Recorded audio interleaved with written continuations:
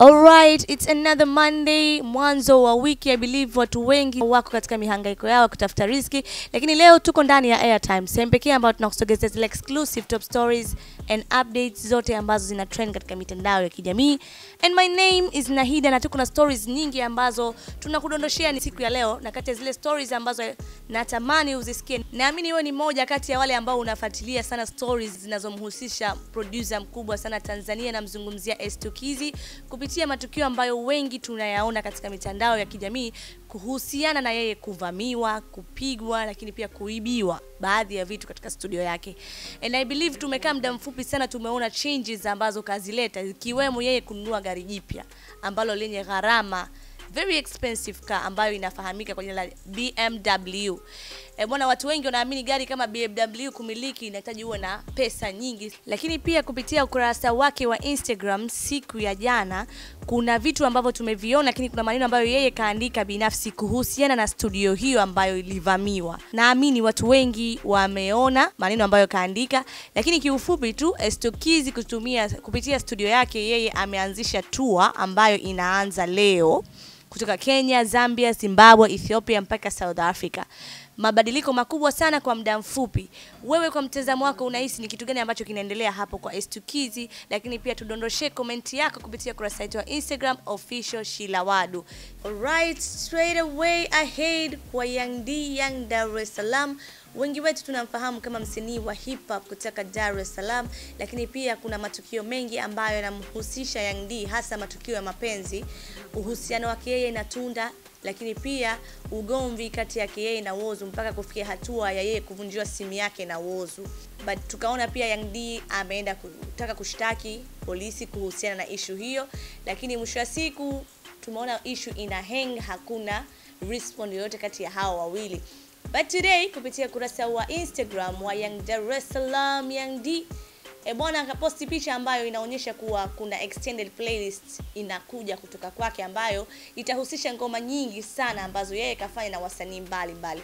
So tutegemee tutegemee mziki mzuri sana kutoka kwa Young D, tutegemee kazi nzuri sana kutoka kwa Young D, lakini pia tuko na stories nyingi kama nilivyokuambia. Mimi naamini kuna matukio mengi sana ambayo watu yanatukuta kwa namna moja ama nyingine, lakini mwisho wa siku tuna recover, tunakuwa katika hali nzuri, kwa sababu mwisho wa siku maisha yetu sisi hapa yanaendeshwa na Mungu kupitia mambo mengi ambayo Kusa amepitia mwezi huu ikiwemo tukio lake la ajali. Tunafahamu kuwa hakuiposti katika mitandao ya kijamii, lakini tumesikia kupitia source mbalimbali ambazo zinatoa taarifa katika mitandao ya kijamii kuwa Kusa amepata ajali na tumeona kuwa Kusa kweli kaumia. E bwana, leo kupitia kurasa yake wa Instagram amepost video clip.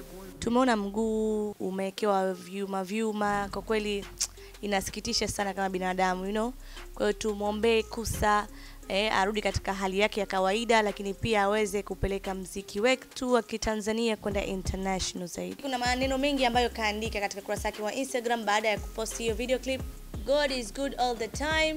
Hayo ndio maneno ambayo Kusa kaandika katika mtandao wake wa kijamii, lakini pia kuna wasanii mbalimbali ambao wamempa pole kwa tukio hilo ambalo limemkuta ikiwemo Auntie Ezekiel, na tunafahamu karibu wa hawa watu wawili na kuandika hivi pole Kusa yake. Jamani, tumwombeeni Kusa ili aweze kurudi katika majukumu yake ya kila siku, lakini pia aweze kusaidia tasnia ya mziki Tanzania iweze kwenda mbali zaidi kwa mchango wake. Okay, naamini kati ya zile stories ambazo nakuletea Jumatatu mpaka Ijumaa zinakuwa hot na unazikubali, na kati ya story ambayo tunaenda nayo sasa hivi ni kuhusiana na Niki wa Pili. Naamini kuwa kila mtu ana ndoto yake. Kuna mtu anatamani kuwa daktari, kuna mtu anatamani kuwa askari, kuna mtu anatamani kuwa mlinzi, kuna mtu anatamani kuwa mwanajeshi, kuna mtu anatamani kuwa mambo mengi you know, lakini Nikki wa Pili ndoto yake kubwa yeye ni kuwa rais miaka ijayo na kati ya vitu ambavyo wanavyo ni wa Pili ni utu, upendo, haki, heshima na ustaarabu ambao alikuwa nao, na watu wengi wanafuatilia sana page yake kupitia maneno ambayo anaandika. Ni watu wanajiuliza, wanajitafakari, lakini pia wanajirekebisha kwa namna moja ama nyingine. Leo kupitia ukurasa wa Instagram wa Nikki wa Pili kuna maneno ambayo amepost na ameenda viral sana, na kama nilivyokuambia maneno yake yanakuwa yanagusa watu. Vitu ambavyo kaviandika ni kwamba usishangae washikaji walioshikana na wewe wakati wa shida, wakawa wa kwanza kukutenga wakati unafanikiwa.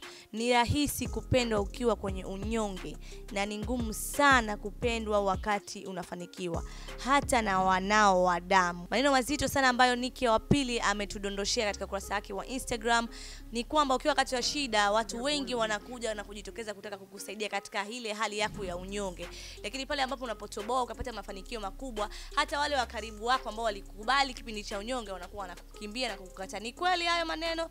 We kama unaamini hiyo hali ambayo Niki wa pili ameandika katika kurasa yake wa Instagram, hebu tuambie kwa upande wako imekaa vipi kupitia kurasa yetu wa Instagram, jina ni moja tu, official Shilawadu. And the good news siku ya leo na story ambayo tunafunga nayo show ni story nzuri sana. I believe kila mtu ikifika siku yake kuzaliwa anafurahi kwa sababu anaongeza umri, anaongeza miaka, lakini pia anaongeza juhudi za kuhakikisha ndoto zake zinatimia. Today ni siku ya kuzaliwa ya msanii wa singeli mkubwa sana, namzungumzia Dula Makabila. E bwana, we wish you all the best. Tunakutakia maisha marefu, mafanikio tele, lakini pia tunakupongeza kwa mziki mzuri ambao umetuletea hapa Bongo. Asante sana kwa kusikiliza Airtime ya Makorokocho TV. I believe una enjoy na zile stories ambazo nakuletea ndani ya Monday mpaka Friday, lakini pia usisahau kusubscribe katika YouTube channel yetu, jina ni moja tu, Makorokocho TV. Bye bye.